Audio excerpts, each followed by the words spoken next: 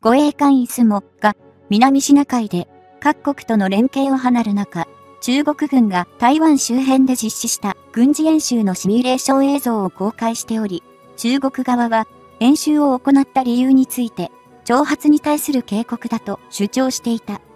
一方の台湾国防部に関しても、F16 戦闘機が基地から飛び立つ映像を公開し、中国側に強く反発しているが、ここから台湾有事へと、どのように発展していくのか深掘りしていきます。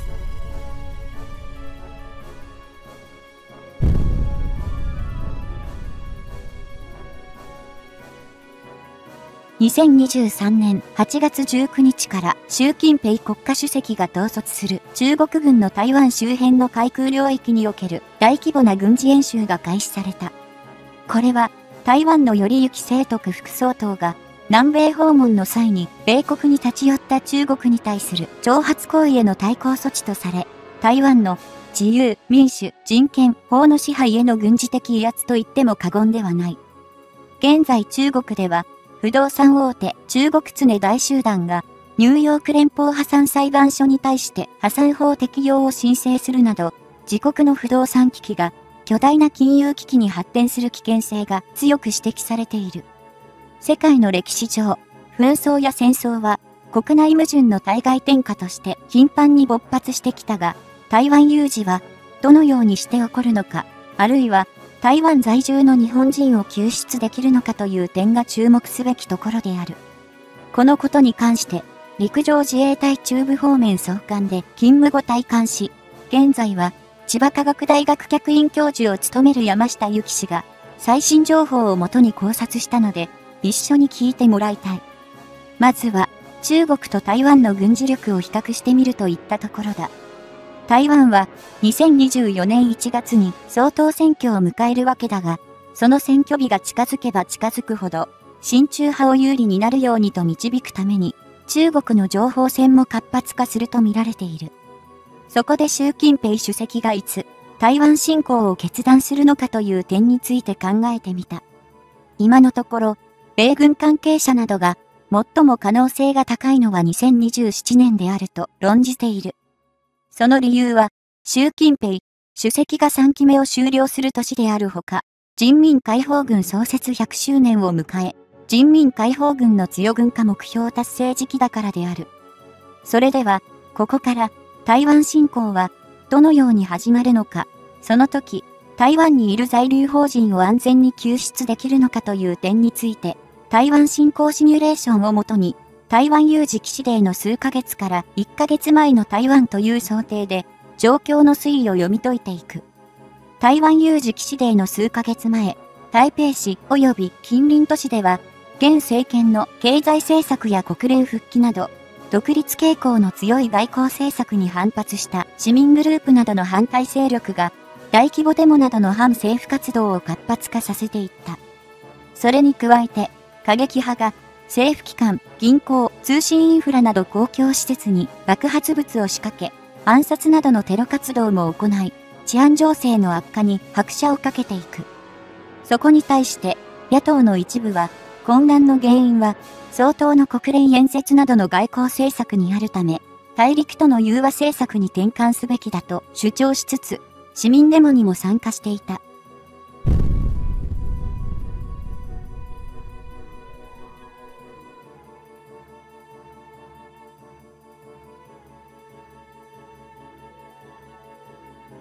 さらに、議員の一部は、国会議事堂入り口に強固なバリケードを築いて、強制的に国会審議を阻止し、相当の退陣を要求した。台北市内では、デモ隊と警官隊が激しく衝突し、デモ隊側に死傷者が発生し、混乱を防止するために、21時以降の夜間外出禁止措置が取られるなど、市民生活に大きな影響を及ぼす事態となっている。この時に、中国から台湾に留学していた中国人学生が巻き込まれて2名が死亡する事案が発生し、中国外交部報道官が台湾当局に強く抗議する声明を発表した。それに対して台湾政府はデモの首謀者や過激派の一部に中国政府の指示を受けたグループが組織的に関与していると強く非難する。こうした反政府運動はあっという間に台湾全土に拡大し、その一部は先鋭化し、大陸との統一を叫んで軍施設を襲うなど確実にエスカレートしていった。そこで、台湾総統府は、このまま過激行動が収まらない場合、戒厳令も辞さないと警告を発した。各国政府は、台湾で暮らす自国民に帰国するよう指示を出し、台湾への新規渡航を完全に禁止し、アメリカ政府は、日本、オーストラリア、韓国政府に各国国民を保護するための共同作戦に関する協議を求めた。この情勢を受けて、日本政府は安全保障会議を速やかに開き、台湾にいる在留邦人の輸送について議論し、防衛省に邦人輸送の準備命令を出し、海上自衛隊の輸送部隊を日本の最西端に位置する沖縄県与那国島まで前進させた。台湾の軍事産業を標的とする大規模なサイバー攻撃があり、重要データ、社員の個人情報などが流出し、一部の生産機械が止まってしまい、過激派のテロ攻撃なども悪化の一途をたどった。主要都市においては、一時期のロシアのように国外に逃れようとする市民が、飛行場や港に殺到し、パニック状態となっていた。中国政府は、人民解放軍に最高度の警戒監視体制を取らせるとともに、不測の事態に備えて、東部戦区及び南部戦区に部隊を増援することを発表したため、両戦区以外の戦区から、霊下の合成旅団の派遣を命じた。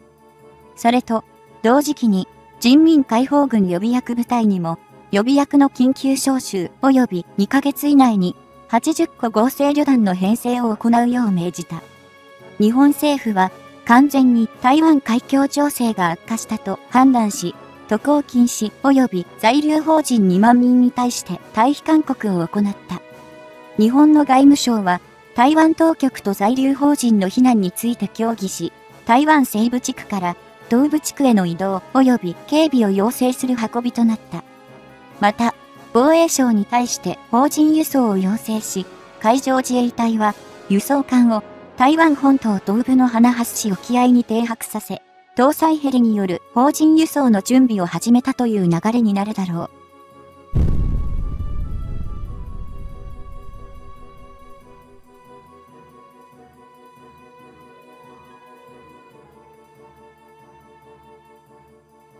果たして、日本政府は、このように、すべての判断を冷静、的確に行い、かつ先行的に準備して法人輸送を行えるのか、また、台湾当局の協力が得られて、在留邦人を本島内の定められた地点に安全に輸送できるのか、そして、中国の海上封鎖、飛行禁止宣言が出されても輸送は可能なのか、さらに、防衛作戦準備と法人輸送の両作戦が自衛隊の現有勢力で可能なのかなど、検討しなければならない課題は多いと思慮する。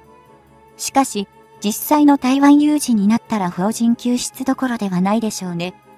仮に、アメリカが介入する動きがあれば、中国は、嘉手納基地など在日米軍基地攻撃も辞さないだろうし、自衛隊も、在日米軍基地防衛で、手一杯で、とても、救出に部隊を割く余裕はないのではでしょうか。しかも、中国が在日米軍攻撃も辞さない場合、そこに護衛艦隊を台湾に出港させたら台湾軍援護と見られてミサイル攻撃を受けかねません。そうなると、米中戦争にもなりかねない台湾有事になったら、法人は台湾国内で安全を確保する方法もやむを得ないかもしれない。法人避難の問題で、一つ、頭の片隅にでも入れておいた方が良いことがある。台湾側からの観点だと、日本人、アメリカ人、フィリピン人は戦争が始まっても、台湾にできるだけ残っていてほしい人たちだという話だ。